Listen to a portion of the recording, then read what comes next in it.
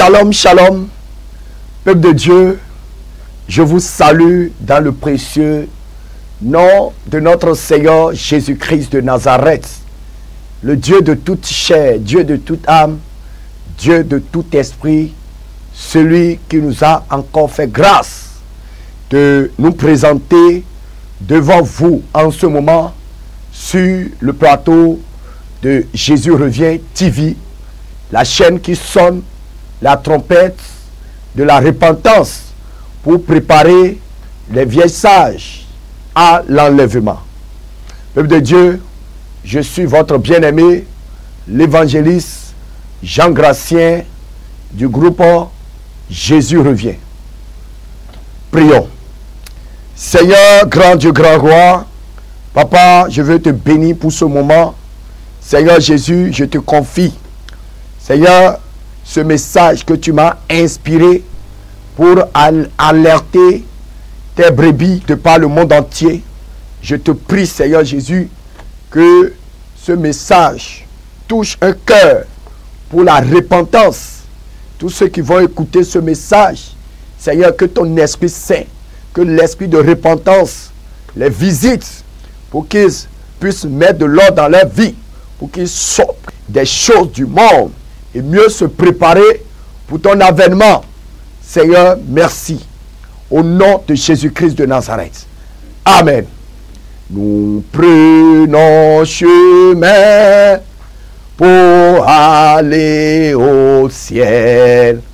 Est-ce que tu pourras aller aussi?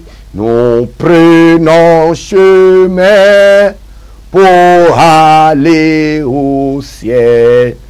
Est-ce que tu pourras aller aussi? Les anges par milliers parcourent le ciel ils sont vêtus en habit blanc. Et toi, mon frère, pose-toi la question.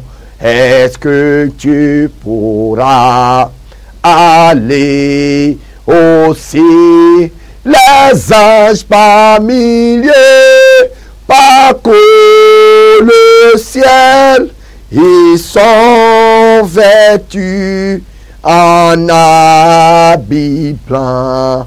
Et toi, mon frère, pose-toi la question. Est-ce que tu pourras aller aussi? Et toi, voleur, pose-toi la question. Est-ce que tu pourras aller aussi? Et toi, menteur, pose-toi la question. Est-ce que tu pourras aller aussi? Et toi, braqueur, pose-toi la question. Est-ce que tu pourras aller aussi? Et toi, prostituée, pose-toi la question. Est-ce que tu pourras aller aussi? Et toi, Jézabel, pose-toi la question. Est-ce que tu pourras aller aussi? Et toi, coléreux, pose-toi la question. Est-ce que tu pourras aller aussi? Et toi, musulman, pose-toi la question. Est-ce que tu pourras aller aussi? Et toi, catholique, pose-toi la question. Est-ce que tu pourras aller aussi? Et toi, protestant, pose-toi la question. Est-ce que tu pourras aller aussi? Et toi, féticheur, pose-toi la question. Est-ce que tu pourras aller aussi? Et toi, faux pasteur, pose-toi la question. Est-ce que tu pourras aller aussi? Et toi, faux prophète, pose-toi la question. Est-ce que tu pourras aller aussi? Les anges familiers parcourent le ciel. Ils sont vêtus en habit blanc. Et toi, mon frère, pose-toi la question. Est-ce que tu pourras aller aussi Nous prenons chemin pour aller au ciel. Est-ce que tu pourras aller aussi? Alerte rouge alerte rouge. Chers frères et sœurs, notre alerte rouge d'aujourd'hui va continuer de tirer sur les fêtes païennes. Les fêtes païennes que le monde organise pour souiller vos âmes peuple de Dieu, pleurez, pleurez et gémissez devant le Seigneur quand le monde est en fête. Pleurez et gémissez devant le Seigneur au moment où le monde est en fête. Alléluia. Cette exhortation est pour prévenir, continuer de prévenir les vieilles sages contre les fêtes païennes. Peuple de Dieu, rachetez les temps. Les jours sont mauvais. Rachetez les temps. Les jours sont dangereux. Rachetez les temps. Les jours sont très très mauvais. Peuple de Dieu, nous n'avons plus de temps à perdre, à fêter avec le monde pour ajouter péché sur péché. Le temps qui nous reste n'est plus pour la fête avec le monde, mais le temps qui nous reste, c'est pour la préparation de nos robes, le temps qui nous reste pour examiner de temps en temps notre vie, le temps qui nous reste, c'est pour mettre de l'ordre dans notre vie. Le temps qui nous reste, c'est pour laver nos robes des souillures du monde et non tacher nos robes avec les souillures du monde. Le temps qui nous reste, c'est pour Demandez, Seigneur, que reste-t-il à faire pour ne pas rater l'enlèvement? Mais le temps qui nous reste n'est plus pour les divertissements païens. Le temps qui nous reste n'est plus pour nous souiller, nous prostituer avec le monde.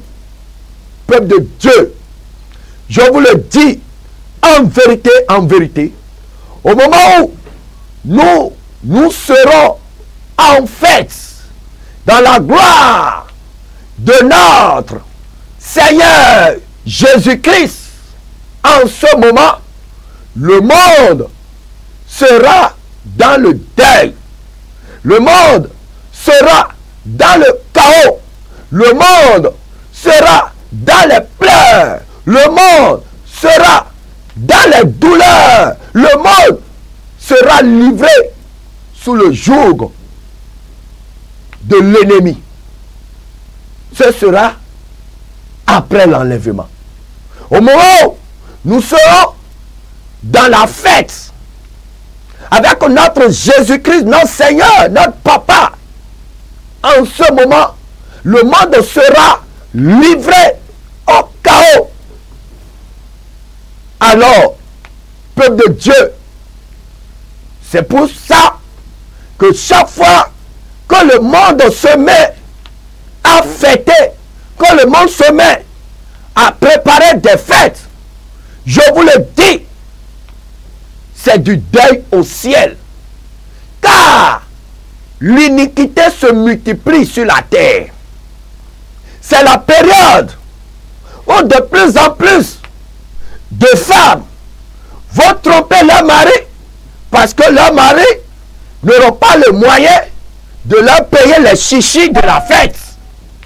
Je vous le dis, beaucoup de femmes dans cette période vont trouver, vont tout faire pour chercher de nouveaux amants qui peuvent leur payer des choses de la fête. Parce qu'elle veut être aussi à l'âge de la fête.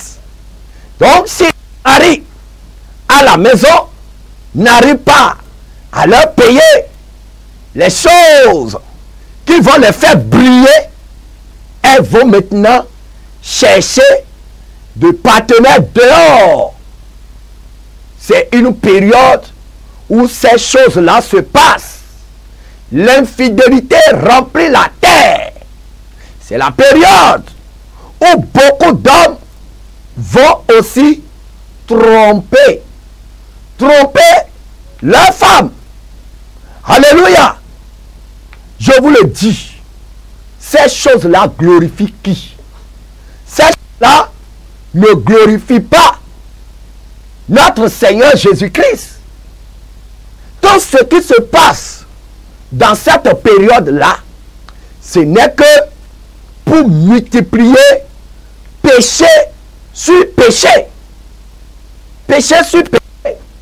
Vous allez voir beaucoup d'hommes qui vont aussi tomber dans les filets des femmes prostituées, des femmes qui se parent des chichis de fête et mettre les collants, mettre les, les, mèches brésiliennes, les cheveux indiens, les rouges aux lèvres, les lèvres, les faux ongles, longs, peinturés en rouge et divaguer dans les rues pour attirer le regard des proies faciles, des hommes imprudents qui vont tomber dans leur filet et tromper leurs femmes à la maison.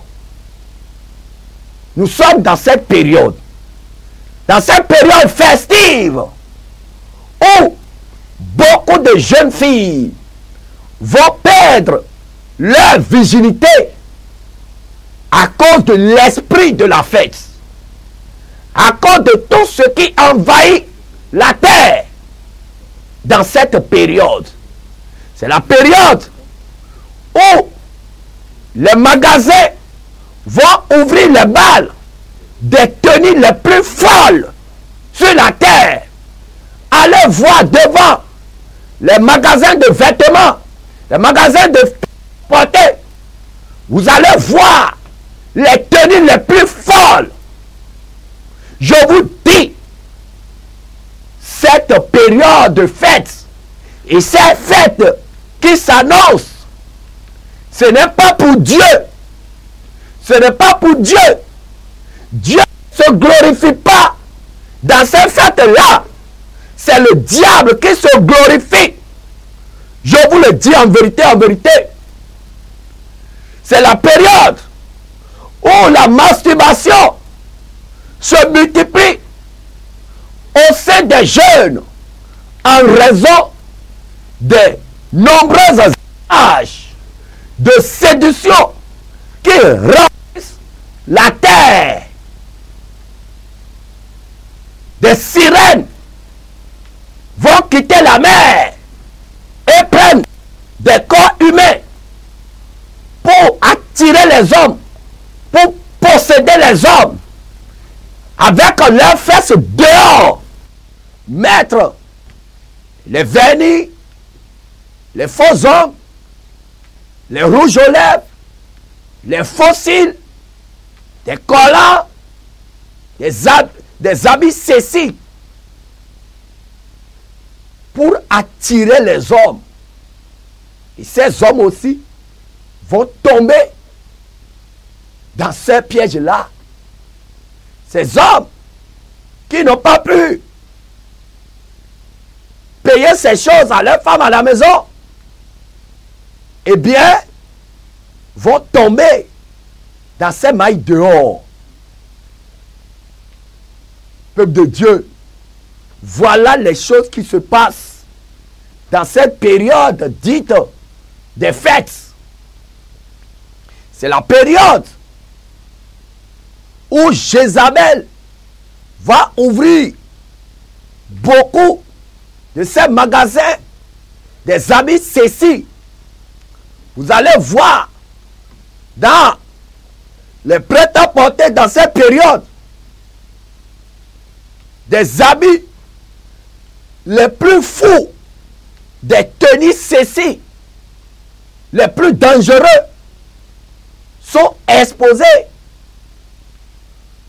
Et des, des femmes vont payer ça et porter ça. Et l'iniquité s'augmente sur la terre. Peuple de Dieu, c'est la période des coiffures les plus fantaisistes, des coiffures les plus dingues. La période des grandes tendances, ceci pour polluer la terre. Peuple de Dieu, allez voir comment les salons de coiffure ont changé de décor pour attirer de nouveaux clients? Allez voir comment les prêts-à-porter ont changé de décor. Allez voir comment les bars ont changé leur peinture pour attirer de nouveaux clients qui viendront se saouler. Allez voir comment les auberges, les chambres de passage vont changer de décor pour accueillir de nouveaux clients qui vont amener des femmes d'autrui, des jeunes filles, pour venir les déflorer, pour venir les détruire. Peuple de Dieu, voilà l'ambiance de cette période festive sur la terre. Je vous le dis en vérité, en vérité. C'est la période où beaucoup d'hommes vont tromper leurs femmes. Des hommes qui vont tomber dans la séduction des femmes. Ceci qui se promènent nus avec des seins nus, des seins dehors pour les flasher, pour les attirer. Peuple de Dieu, qu'est-ce qui glorifie notre Seigneur dans cette période-là? C'est la période où beaucoup de jeunes filles vont tomber dans l'impudicité. Beaucoup de filles vierges vont perdre leur virginité leur virginité, tombant sur le cou, dans le filet des hommes pervers. Et elles aussi, attirées par les tendances de la fête, vont s'habiller en ceci et ces vêtements vont attirer les hommes. Les hommes qui ont soif de coucher avec des jeunes filles, même les filles qui sont au de l'âge.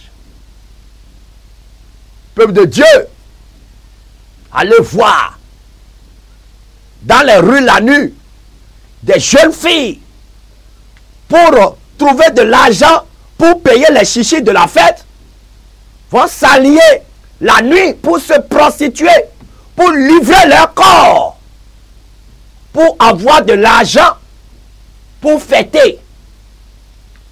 Voilà l'esprit de la fête. Peuple de Dieu. Voilà l'esprit de la fête qui possède la À partir du mois de novembre, décembre, janvier jusqu'à février, cette période-là, l'esprit de la fête possède la terre. Et c'est une période que le Seigneur ne veut pas voir ses enfants avec le monde, en train de fêter avec le monde. C'est une période où beaucoup vont tomber dans l'ivrognerie. Les boissons les plus saoulants vont quitter le monde astral et venir sur la terre. Vous allez voir, c'est la période où de nouvelles boissons alcoolisées, de nouvelles marques vont envahir la terre. Vous allez voir, c'est de la concurrence commerciale dans le monde des ténèbres pour posséder les hommes. Pour que les hommes commettent péché sur péché. C'est la période où beaucoup vont tomber dans des essais de table. C'est la période où la criminalité augmente sur la terre. Parce que les paresseux qui ne travaillent pas, qui ne veulent pas travailler, mais qui veulent de l'argent facile pour fêter, vont aller poser des embuscades la nuit pour braquer les gens, arracher leurs motos, arracher leurs voitures, arracher les sacs des femmes, braquer des banques pour avoir de l'argent pour fêter. Parce qu'il y a l'esprit de la fête. Et tout le monde doit adorer cet esprit-là. Et donc chacun use de tous les moyens possibles pour trouver de l'argent pour se mettre dans le bain de la fête. Voilà l'esprit de la fête, peuple de Dieu.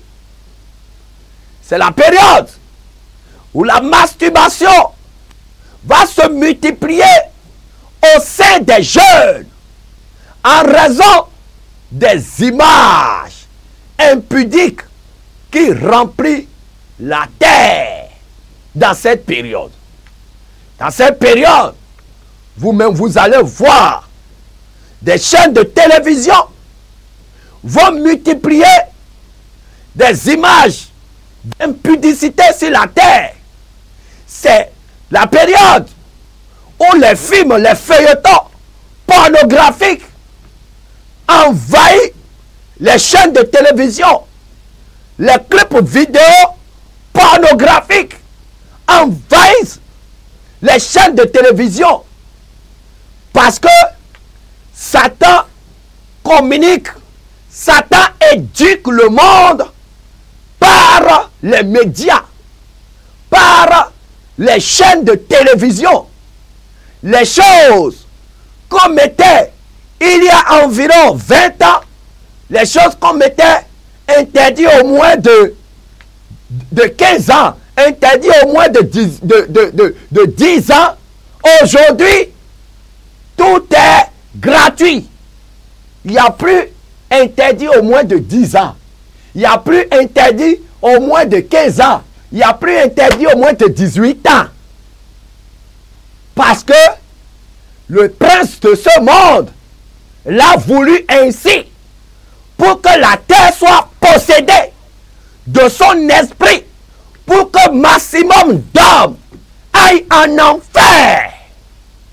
Voilà l'esprit qui gouverne le monde.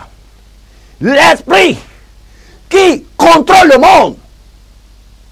Mais le Seigneur Jésus-Christ, sur son trône, il pleure pour vos âmes, pour les âmes de ceux qui tombent dans ces filets. Peuple de Dieu, c'est la période où de nouveaux clips vidéos vont sortir pour encourager les hommes, inciter les hommes, les jeunes à se coucher entre eux. Peuple de Dieu, ça fait pleurer. Allez voir les magasins des prêts-à-porter qui ont déjà ouvert leur stock de tenues Cécile les plus faux et les met en solde. C'est-à-dire, on fait liquidation pour que beaucoup puissent venir payer et se mettre nus dans la folie de la fête. Peuple de Dieu, je vous le dis en vérité, en vérité, c'est la période où le Saint-Esprit quitte les églises. Le Saint-Esprit fuit beaucoup d'églises. Car les parures et les ornements de Jézabel vont remplir ces églises. Tout ce que je viens de vous citer en haut, vous allez les retrouver tous à l'église. Les, les, mèches brésiliennes, des nouveaux collants, de nouveaux tennis ceci, exposant oh, tout ça là, vous allez les retrouver aussi à l'église les dimanches. De nouvelles mèches, de nouveaux perruques, de nouveaux vernis, de nouveaux rouges à lèvres, de nouveaux collants, de nouveaux hauts talons. Toutes ces choses-là vont joncher les temples conduits par Jézabel les sirènes des eaux, par ces choses, vont remplir les églises pour capturer et posséder les âmes. Ces églises qui ne vont jamais prêcher sur ces choses-là. Ces églises mondaines qui ne vont jamais prêcher contre la mondanité, contre le jézabelisme. C'est la période où les esprits vont envahir ces églises-là. Et les pasteurs négligents et compromissionnistes qui ne vont jamais prêcher contre ces choses vont devenir aussi de plus en plus fragiles, ainsi saoulés par ces images ceci qui passent devant eux. Ils commencent, ils vont commencer pas se désoler de manque de beauté de leurs femmes à la maison. Parce que des femmes à l'église, dans des tenues ceci, vont déambuler devant eux tous les dimanches pour faire vibrer leur corps. Donc, ils ne trouvent plus de valeur, ces pasteurs ne trouvent plus de valeur à leurs femmes à la maison.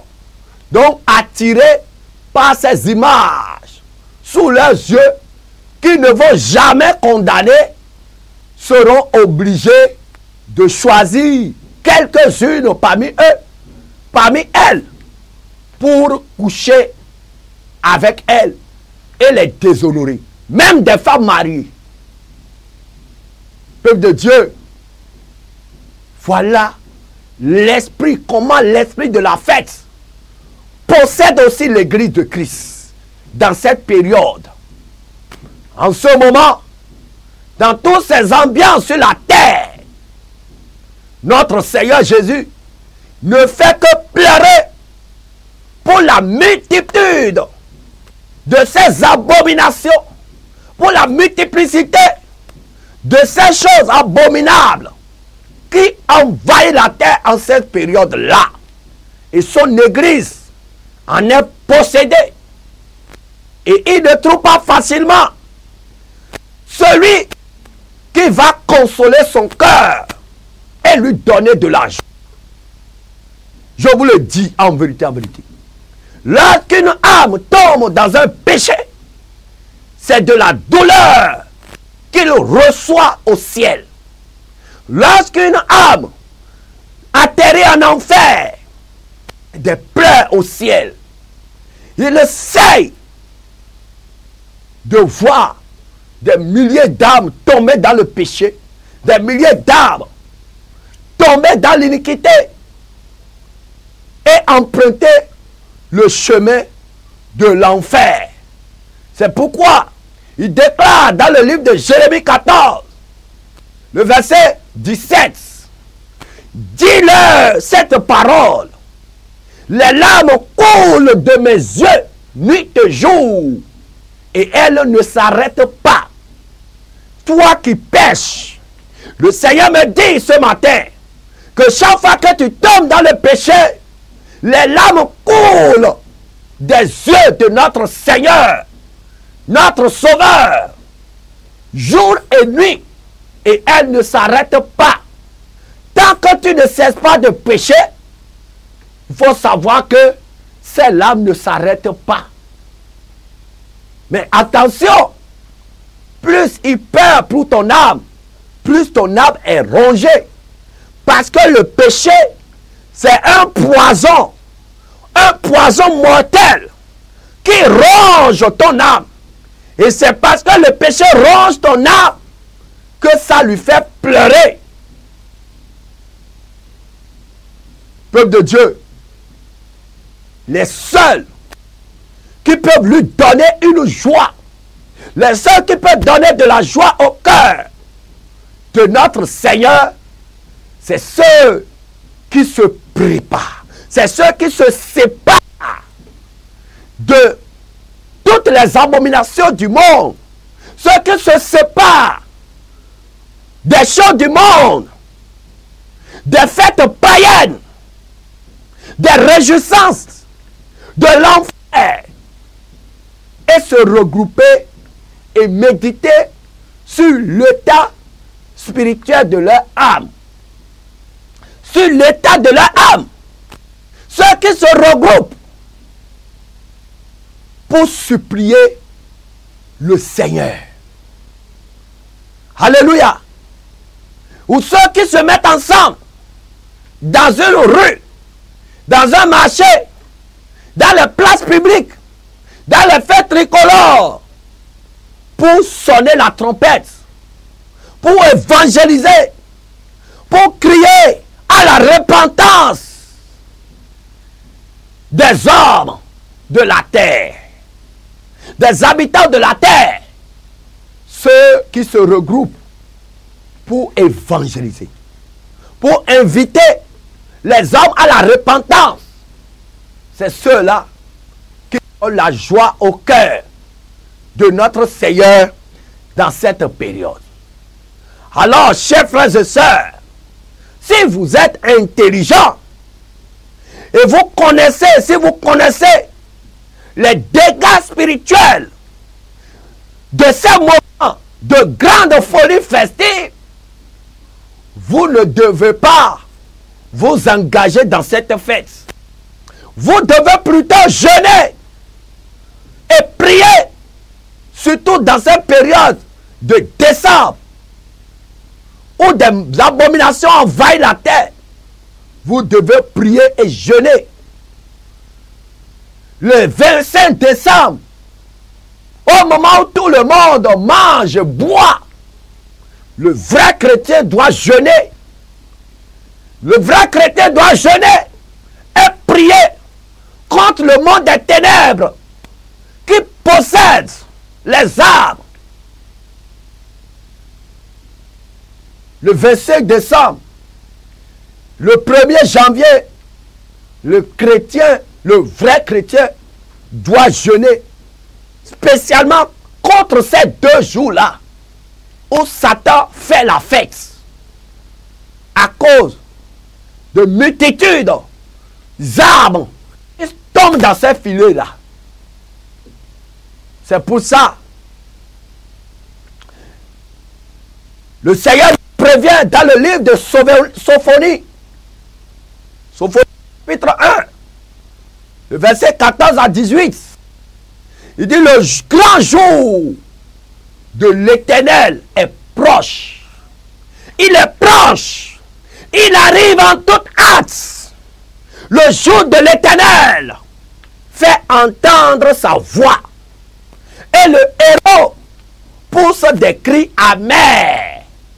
Ce jour est un jour de fureur, un jour de détresse et d'angoisse, un jour de ravage et de destruction, un jour de ténèbres et d'obscurité, un jour de nuée et de brouillard, un jour où retentiront la trompette et les cris de guerre contre les villes fortes et les tours élevés, c'est-à-dire le monde. Je mettrai les hommes dans la détresse et ils marcheront comme des aveugles parce qu'ils ont péché contre l'éternel. Je répandrai leur sang comme de la poussière et leur chair comme de l'ordure le Seigneur te prévient du jour de sa colère qui s'annonce. Ni leur argent, ni leur or ne pourront les délivrer au jour de la fureur de l'Éternel. Par le feu de sa jalousie, tout le pays sera consumé, car il détruira soudain tous les habitants de la terre de Dieu. Voilà ce qui s'annonce sur le monde et les habitants du monde qui refusent, qui refusent d'obéir, qui refusent de faire la volonté de Dieu et qui font la volonté de leur maître. Le Seigneur les prévient dans ce message. Oh, chers frères et sœurs, je vous en supplie, ne perdez pas votre vigilité en vous prostituant avec le monde à travers les fêtes païennes. Vous êtes des vierges. Vous êtes des vierges sages. Alors ne perdez pas votre vigilité spirituelle en prostituant avec le monde. Je vous en supplie. Notre Seigneur Jésus-Christ vient bientôt pour nous chercher. Et nous aurons tout le pour fêter avec lui au ciel, dans sa gloire. Je vous le dis en vérité, en vérité. Comme Sophonie 2, le verset 2 à 3 dit, avant que le décret ne s'exécute et que ce jour passe comme de la balle, avant que la colère Adam de l'éternel fonde surtout sur les habitants de la terre. Avant que le jour de la colère de l'éternel fonde sur vous, cherchez l'éternel. Vous tous, humbles du pays, vous tous, les vieilles sages, vous tous qui craignez le nom de Jésus-Christ, cherchez-le. Cherchez à faire sa volonté. Vous qui pratiquez ses ordonnances, recherchez la justice, marchez dans l'humilité, marchez dans la sainteté, marchez dans la sanctification, Mettez de l'ordre dans votre vie. Recherchez l'humilité. Peut-être serez-vous épargné au jour de la colère de l'éternel. Car dans Ephésiens chapitre 5, le verset 14 à 16, il est écrit, c'est pour cela qu'il est dit, réveille-toi, toi qui dors, relève-toi d'entre les morts, et Christ t'éclairera. Prenez donc garde de vous conduire avec circonspection, non comme des insensés, mais comme des sages.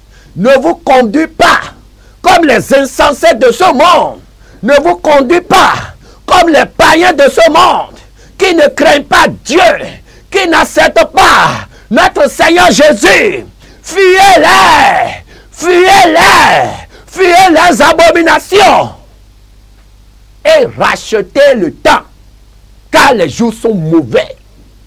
Rachetez le temps, car les jours sont mauvais.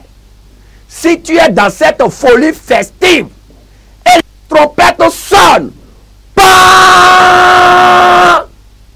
qu'est-ce qui va se passer Tu vas dire aux anges, attendez, je vais aller laver ma robe, je vais aller me préparer et vous allez m'amener au ciel. Oh, notre Seigneur dit, vous savez, ni le jour, ni l'heure. Alors, soyez prêts. Soyez toujours prêts. Peuple de Dieu, je vous le dis en vérité, en vérité. À Jésus revient. Et 25 et 31 et 1er janvier sont des jours de jeûne pour détruire les œuvres des ténèbres. Ce n'est pas des jours de fête pour nous, mais c'est des jours de jeûne où nous, les vieilles sages, nous allons jeûner et prier et toutes les œuvres des ténèbres. Alors, je vous invite à faire de même. Je vous le dis. En ce moment où l'enfer reçoit beaucoup de candidats, nous les vieilles sages, nous devons travailler pour remplir le ciel. C'est pour ça que, dans cette période, nous devons beaucoup évangéliser. Le 25 décembre, nous, on va parcourir les lieux publics où les gens sont rassemblés. On va aller prêcher, on va aller évangéliser. Le 1er janvier, c'est ce que nous allons faire aussi. Évangéliser, évangéliser. Le monde a besoin de l'évangile. Surtout l'évangile de la repentance. Alors, sur ce, je vous prie d'éviter, je vous prie d'éviter de participer à ces choses-là, à cette fête. Et je vous dis aussi, je vous avais déjà dit de ne pas prendre des jouets de Papa Noël à vos enfants. Notre papa, c'est Jésus. Notre papa, c'est pas Papa Noël. Et je vous prie aussi, ne vous mettez pas dans la dans l'esprit de la fête en, en, décorant vos maisons dans, cette période pour montrer que vous aussi, vous êtes en train de préparer la fête. C'est inutile. Préparez plutôt votre maison spirituelle, votre corps, votre âme, votre vie. Bénissez votre vie pour notre Seigneur Jésus. Alléluia. Je vous dis, j'aurais honte de trouver dans des maisons des, des chrétiens. Dans des maisons des chrétiens, j'aurais honte de trouver des sapins de Noël, des, décorations de Noël. J'aurais honte. Je vous le dis en vérité, en vérité. Vous devez être radical contre le monde et ses rudiments. Le Seigneur notre Dieu a été clair. N'aimez point le monde, ni les choses qui sont dans le monde. Celui qui aime le monde, l'amour de Jésus n'est point en lui. Alors, embellissez plutôt votre vie pour accueillir non Papa Noël, mais Papa Jésus-Christ dans votre vie. Embellissez votre vie pour accueillir le roi des rois. Je vous le dis, c'est la vérité. Et le Seigneur Jésus-Christ, il vous, il se prépare à venir nous chercher.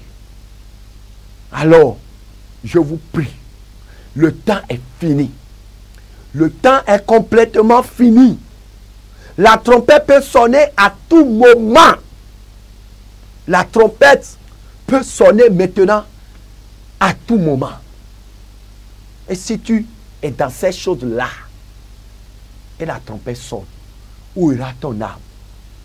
Alors mon frère, ma soeur, si tu as écouté ce message, si ça te dit quelque chose, répands-toi. La Bible nous dit, dans Osée 14, verset 9, que celui qui est sage prenne garde à ces choses et que celui qui est intelligent les comprenne, car les voies de l'Éternel sont droites. Les justes y marcheront, mais les rebelles tomberont. Quand les rebelles entendent ces choses, ils déchirent. Tout ce qui vient de Dieu, quand les rebelles entendent, ils déchirent. Mais quand les sages l'apprennent, quand ceux qui créent le nom de l'Éternel l'apprennent, ils tremblent. Ils tremblent et ils tremblent. Alléluia. Alors, vous qui craignez l'Éternel, mettez de l'ordre dans votre vie. Et préparez-vous davantage pour accueillir le roi des rois. C'était notre alerte rouge sur les fêtes païennes. Que le Seigneur vous bénisse. Seigneur, grand Dieu, grand roi. Papa, je veux te bénir pour ce message, papa, que tu as passé par moi pour donner à ton peuple. Seigneur Jésus, tous tes enfants qui ont écouté ce message et qui vont vraiment se repentir pour ne pas se mettre dans cette folie festive, Seigneur, je te prie, papa, de pardonner, de les laver, d'effacer leur nom du livre de l'enfer, d'écrire leur nom dans le livre de vie. Seigneur, quand les sorciers seront en train de compter les du monde, Seigneur, les tiens, papa, qu'ils soient marqués par ton sang précieux. Que ton sang marque tous tes enfants qui ne vont pas s'engager dans cette folie festive. Jésus, protège ton peuple. Seigneur, protège ton peuple. Et dans l'esprit d'obéissance à tous ceux qui vont écouter ce message, par nous te bénissons. Merci Seigneur. Au nom puissant de Jésus-Christ de Nazareth, j'ai prié. Amen.